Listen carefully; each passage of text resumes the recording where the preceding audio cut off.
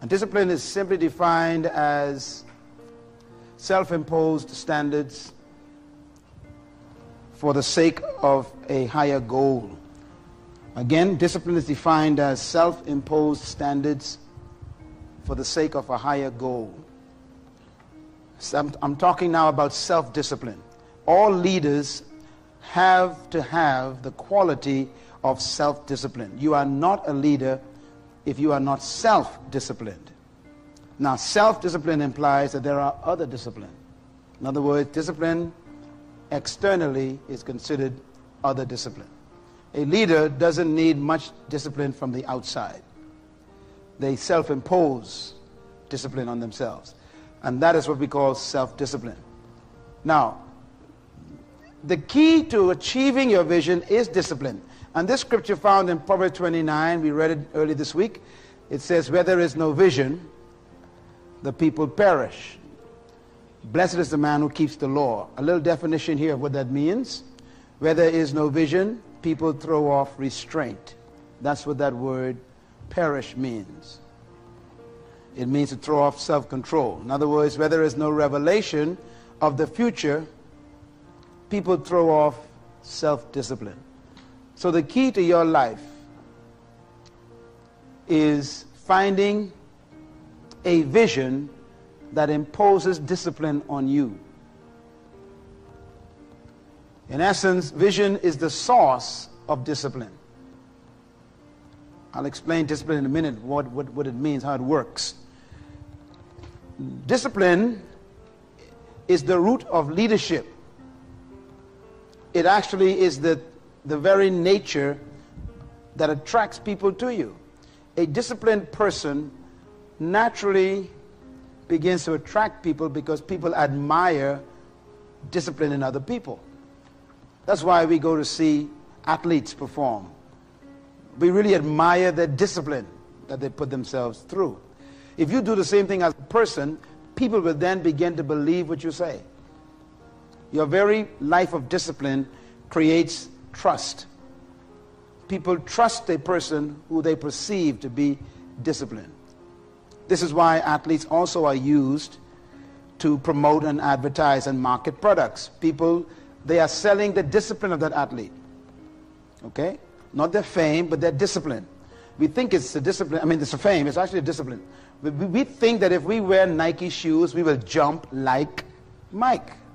Okay? So the, the idea that they sold us was if you want to be like Mike, now you know 180 pounds and some chitlins, you cannot be like Mike. But you still buy the Nike shoes because the idea is what you're wearing. So you are buying the discipline that he has in his life that produced the kind of professional athleticism that he is known for. And so you are really um, impacted by the discipline. Uh, we love to watch sports and not play it. Why? we admire those athletes because of their discipline. The same thing is true about you.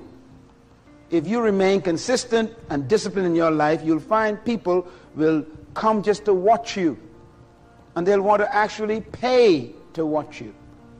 They'll bring their offerings and their tithes to watch you do what you do. It's incredible. So discipline is powerful, and according to the Bible, discipline comes from vision vision.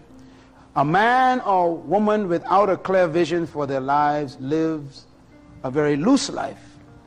But a man with a vision, they live a very narrow life. Very important. The disciplined people live very narrowly. When a man or woman has a vision, their life becomes very, very tight. Why? Because vision simplifies life. What do I mean by this? Again, it'll take a couple of days to teach this, but it's very important. When you capture a vision, it simplifies everything. Everything. Because vision controls all of your choices after that. Once you know where you're going, you also automatically know what roads won't take you there. You understand that statement?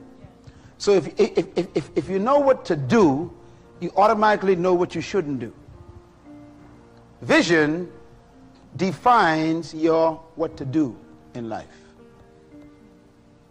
Because vision gives you your address, your permanent address. It shows you your destination, where we get our word destiny from. Your destiny dictates your decisions. Write it down. Your destiny dictates your decisions. So life becomes simple. Uh, if someone offers you something and it doesn't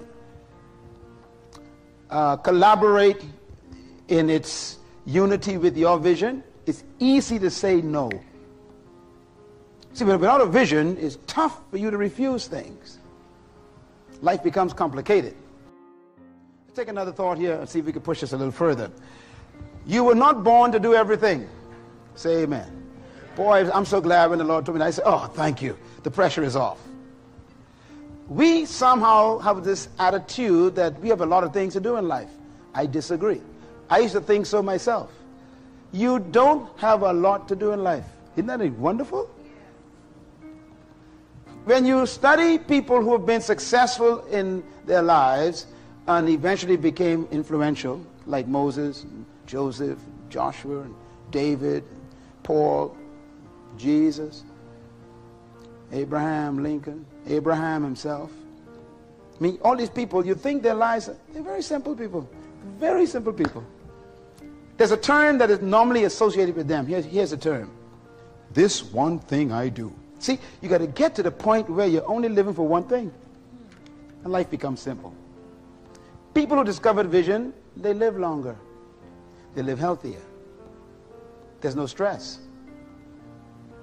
Stress comes from not knowing what to do.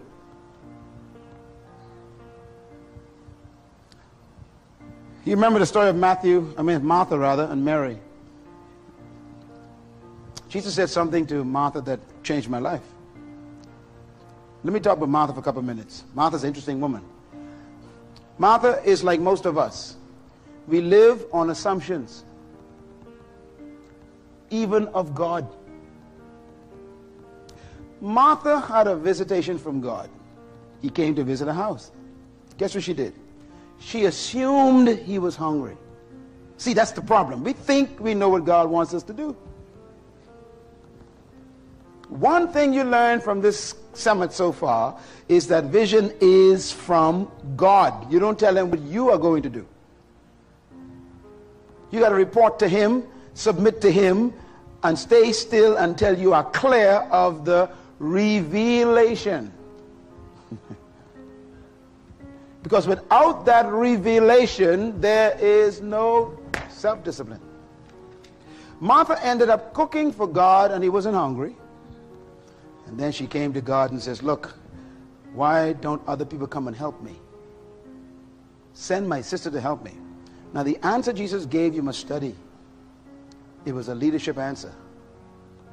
He said, Martha, you are so busy about many things. Tell your neighbor, I think that's me. That's what your life is like. All of you who have known me for the past 20 years, you know that I, have, I haven't changed. I've grown, but I haven't changed. There's a difference between growing and changing. I grow in my knowledge and my experience and my experience, but I haven't changed. I am still the same guy with the same message. Same intent. That makes my life simple. He says, You're busy about so many things. You're trying to do everything. You're trying to be everybody and trying to be everything to everybody. And then he said to her, Martha, Big words. Only few things are necessary. Boy, that's a beauty, eh? He said, look, life is filled with a million questions every day and a million things to do. He said, but only few things really necessary to do in life. Let me ask you a question. Are the things you've done for the past 11 months in this year, were they necessary? Don't answer it, just think about it. You might be shocked at your answer. The question then is what is necessary? How, how do you define necessary? It's, it's answered in the Bible very clearly. It's easy to find what's necessary. Necessary, according to Paul, the apostle, is defined like this. Paul says in uh, 1 Corinthians chapter 6, he said, All things are permitted for me to do. I can do anything I want. He says, But not all things benefit me. Interesting. I don't care how old you are now, you're going to soon be dead. 70 years is so short, you ain't got time to make a mistake anymore. And if you're 40 years old, you are already over the 50% mark. So you better make sure you clear this thing quickly about what your vision is and define it so you waste no more days. You're going to be dead soon. This is no time for experimentation. This is a time for intentional living.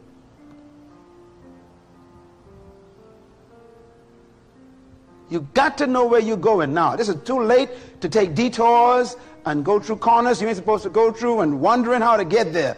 You better know your destination from this mountain. When you leave here with your certificate tomorrow, you better have a clear idea. And that's why this session is important for you. Because you ain't getting no younger, see?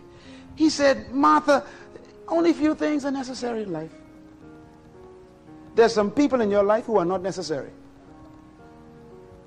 Some of you got the wrong company. And they've eaten up your time, wasting your time, eating with them and playing with them and watching TV with them and going to clubs with them and, you know, going out to, to, to conferences with them and all this stuff and all this stuff. And God is saying, look, you're still not getting where you're supposed to get to. These people are distractions. Some of the books you have been buying are not necessary romance novels, magazines, fashion. I mean, they don't get you to your dream. You see, when you have a vision, it simplifies life. You can walk up to a bookstore shelf and know exactly what books not to buy. See, vision dictates everything.